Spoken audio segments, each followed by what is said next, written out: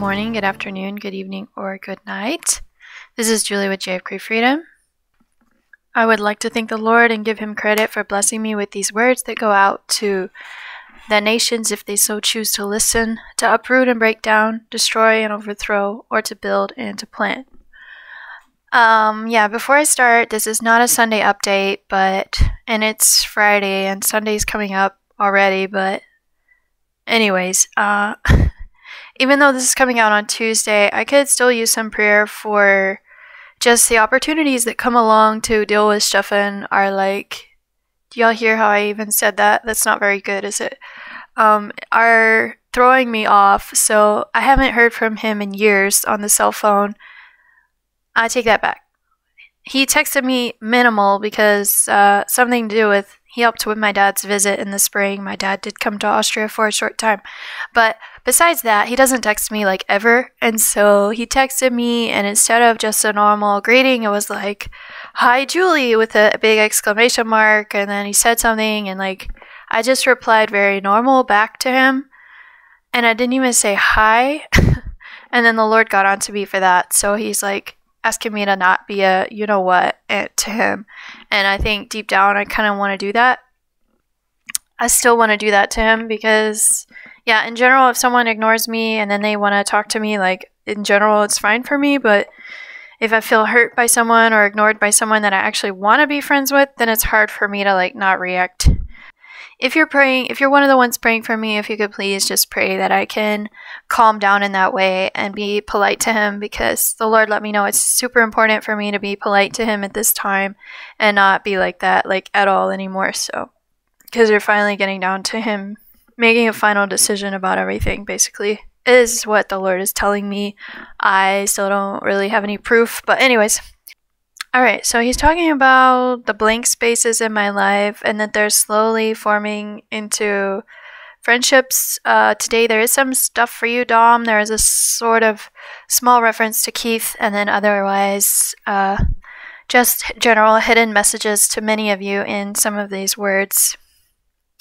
Slowly forming some friendly friendships with Oh, they femme fatale types at times, bro. The tough as hell so called chicks she draws to her. And watch it for me, bro.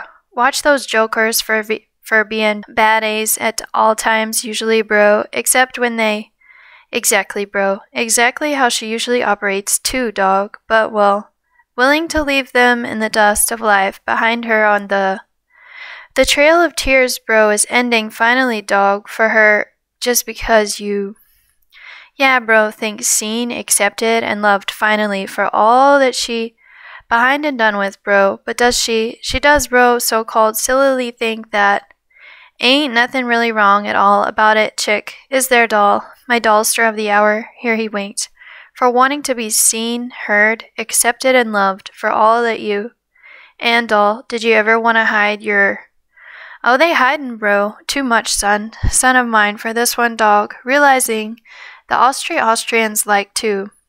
politically correct at all times, usually, folks, even in there. So no wonder they. Oh, it's harsh, bro. The heavy at times so called judgment from others that falls on. Again, dear ones, absolved from my side, bro, in the cutest, sweetest. And did she, bro? She did, dog, finally cry at the most important part of the coolest F in her view, bloke, my blokey blokes of the hour. Uh, yeah, so I watched a movie called Noelle. There's nothing scary or weird about it, so if you want to check it out, it's a very cute movie. I don't even know how I came across it or how it got even slightly popular or marketed, but I think it's cool that it got out there somehow for me to see it at least, and now I I show y'all on the screen.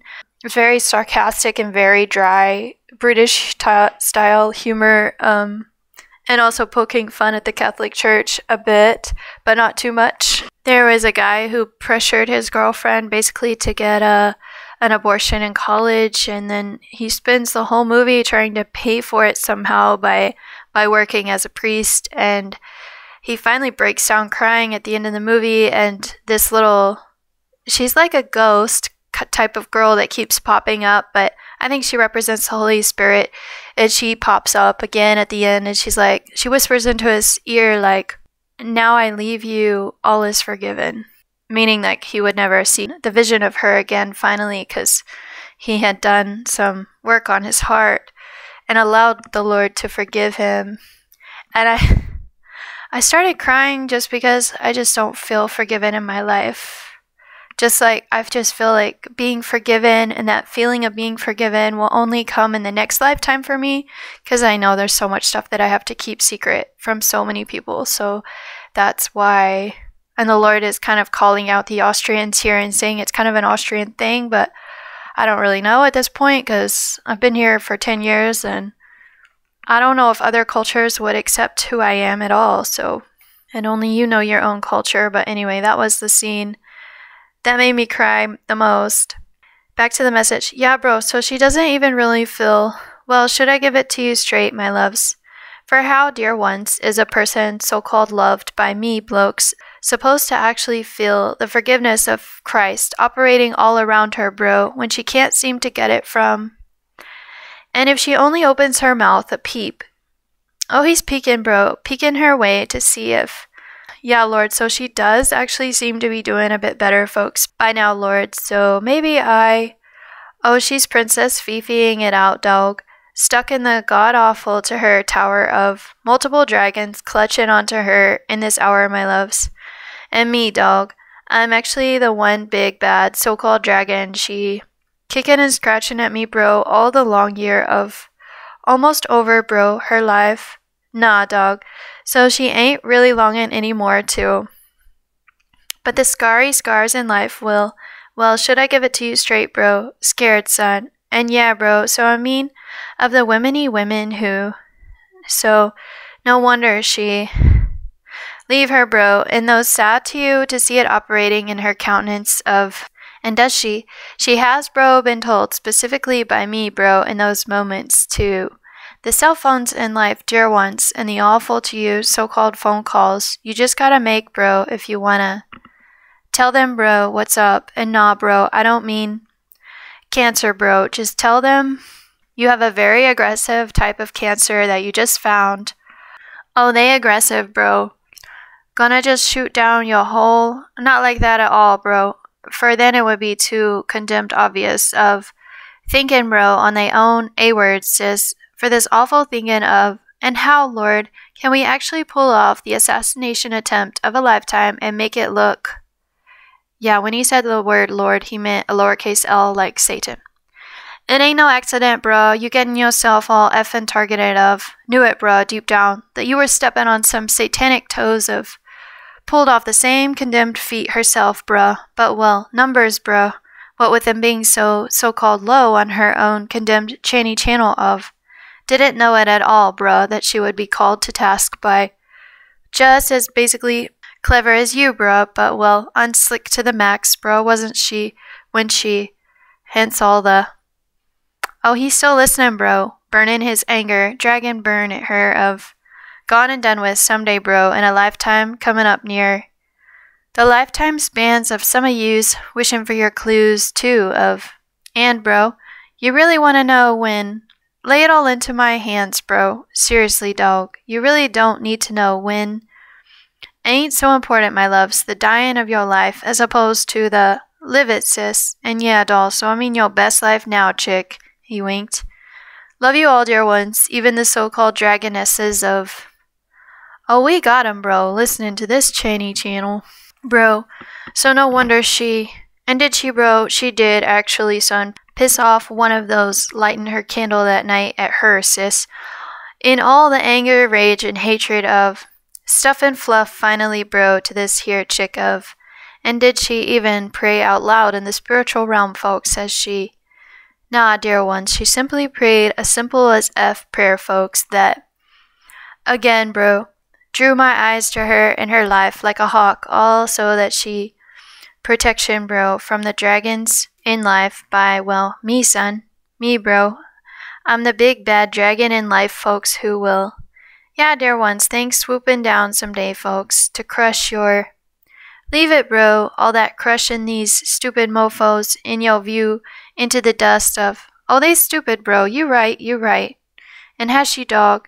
Yeah, dog, my little doggy of the hour, he winked, still humping your hump of.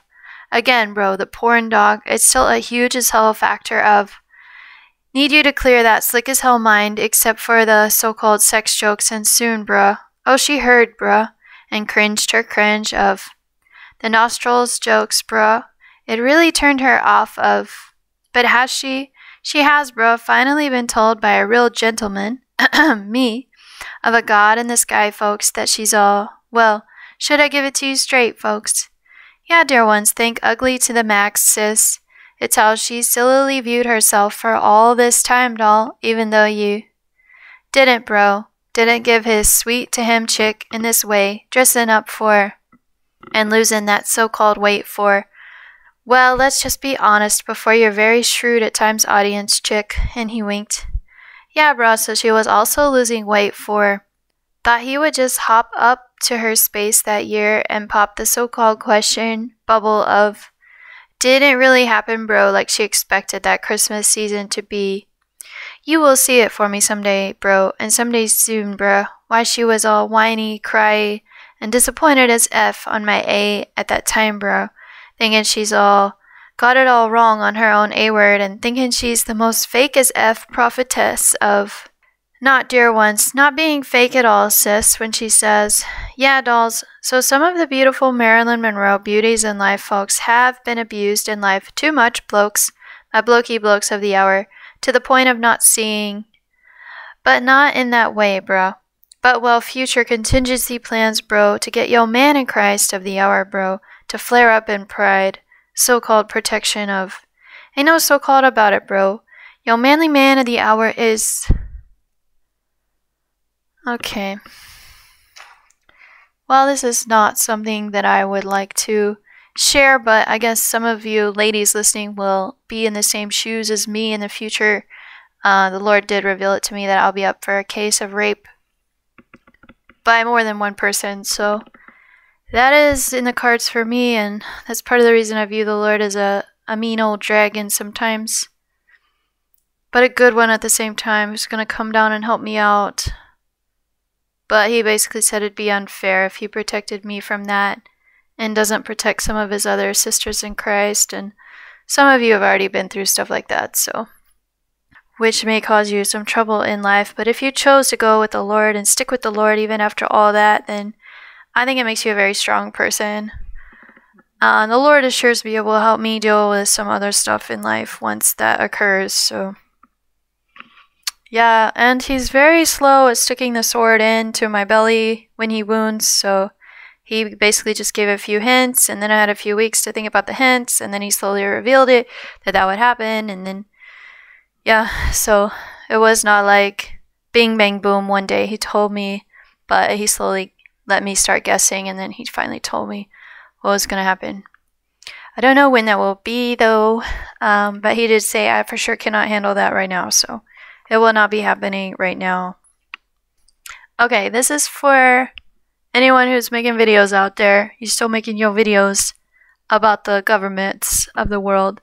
Uh, the Lord did reveal it to me that even the elites at the very top with a lot of money have no idea.